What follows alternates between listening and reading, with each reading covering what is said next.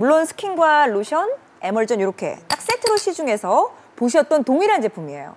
그러니까 아이오페 내 기초들이 다 시중에서 판매되는 제품을 방송하는 건 어, 아니거든요. 그럼요. 쉽지 않아요. 근데 예. 홈쇼핑 전용이 아니라 시중에서 보셨던 바로 그 줄기세포 라인 스템셀을 똑같이 만나시는 거고 스킨의 느낌부터 보여드릴게요.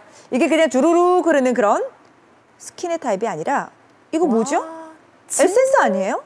더? 고농축의 앰플 같은 펌핑 이렇게. 타입으로 이렇게 스킨이 흘러나온다? 이렇게. 제형만 보셔도 느낌이 완전 다르죠. 이 거의 이 줄기세포 추출물이 들어가 있고 안쪽에 초건육 보습 성분이 덩어리째 훅 이렇게 떨어져서 세안하시고 나서 첫 단계 여러분의 모공을 적셔주고 네. 주름 사이사이 안쪽에 보습감을 주고 탄력을 주면서 주름 개선, 미백, 그리고 여러분 좋아하시는 식물 줄기세포에서 얻어낸 강인한 초보습까지 이 엄청나게 쫀쫀하고 네. 그리고 농축된 덩어리 제형감이 단계부터 여러분의 얼굴의 관리를 도와드립니다. 그러니까요. 아니 줄기세포 성분을 왜 아모레퍼시픽 연구진들이 20년간 연구해서 이렇게 화장품으로 만들어냈을까요?